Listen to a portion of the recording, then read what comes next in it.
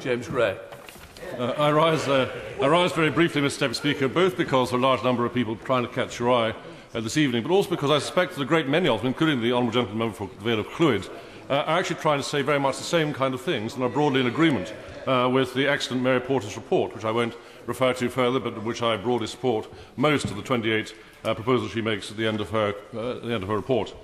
Now, Mr. Deputy Speaker, honourable members who have an idle moment or two may find it amusing to look into my uh, first class website, not done by me but done by others, jamesgray.org, where they will, where they will find, amongst other things, very wickedly, uh, my uh, video clip of my maiden speech, where they'll see a fresh faced, dark haired, slender, keen young fellow speaking from these very benches some 15 years ago. This is what happens to you if you represent North Wiltshire for 15 years. And in that speech, Mr. Deputy Speaker, I went some lengths uh, to address some of the issues that we're talking about this very afternoon, namely the fact that my constituency, North Wiltshire, has a number of small market towns surrounded by beautiful rural countryside, and I talked in my maiden speech about the way in which we can seek to prevent that uh, being built upon. Now, that both shows that nothing changes, Mr. Deputy Speaker, but it also shows, I hope, that I've done a reasonable job in living up to that uh, promise and by preventing the developers from building all over my beautiful constituency. And if you look uh, at my constituency, it really is a case study, and Mary Portas and others might want to use it as a case study or indeed one of her pilot studies, because we have a variety of market towns, some of which are more flourishing in their high streets than others. Uh, most uh, famous, of course, internationally at the moment is the high street in Royal Wootton Bassett. Now, in Royal Wootton Bassett, we have a superb community spirit. Why do we have that? We have that because it's a flourishing, vibrant high street and we have it because there is no out-of-town shopping in Wootton Bassett. There's a very good Sainsbury's. It's 100 yards away from the town hall where we all stood in silent remembrance of our passing fallen soldiers until very recently. Equally, in the town of Calne, we have a first-class supermarket right in the town centre. In Malmesbury, so far, we have no out-of-town shopping. I'll come back to Malmesbury in one second.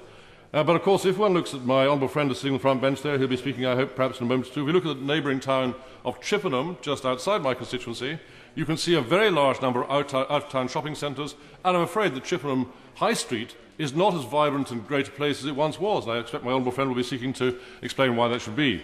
This, of course, is not just about shopping. It's also about housing, and uh, Chippen, of course, at the moment is looking to expand by some four or five thousand houses. The people in, in Trowbridge and Wiltshire Council headquarters this very afternoon are considering the strategic way forward in areas like the Birds Marsh uh, estate just outside my honourable friend's constituency, in, in my own constituency and uh, I very much hope that they will listen to local people, some six or seven hundred of which said they wanted no further expansion of the town of Chippenham into my constituency. The same applies uh, elsewhere. We have to keep our high streets vibrant by preventing developers from spreading out uh, into the countryside. Now that brings me finally, Mr Deputy Speaker, to a very interesting uh, case in point, namely the town of Malmesbury. At this very moment, there are two applications in place, one from Waitrose and one from Sainsbury's, to build out-of-town shopping centres outside Malmesbury. They claim that would provide uh, X hundred new jobs. Of course, they might do, but they're jobs that currently exist anyhow. They claim that under Section 106 agreements, the Malmesbury would benefit because there would be buses in from the Sainsbury's car park in the town centre. There would be a staircase up from the Waitrose one up the town centre. There would be all sorts of benefits to people of Malmesbury. Aren't they lucky to have us in Sainsbury's and Waitrose coming to build in our town? No, Mr. Speaker, the answer is we are not lucky at all.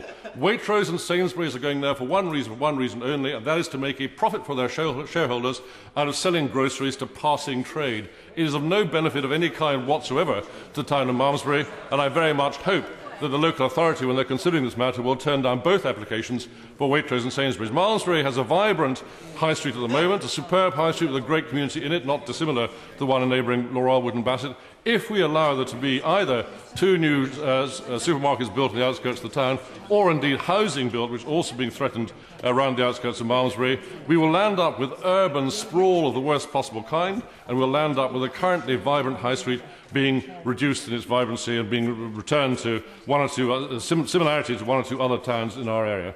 I appeal to the planners who are sitting in Trowbridge very often to consider these very matters to realise that if you allow developers to build on greenfield sites, that is precisely what they will do. They want to build on greenfield sites. Only by preventing them from doing so will you force the developers to build in our town centres. Will you force them to redevelop brownfield sites? Will you force them to redevelop and, and, and add vibrancy to our town centres?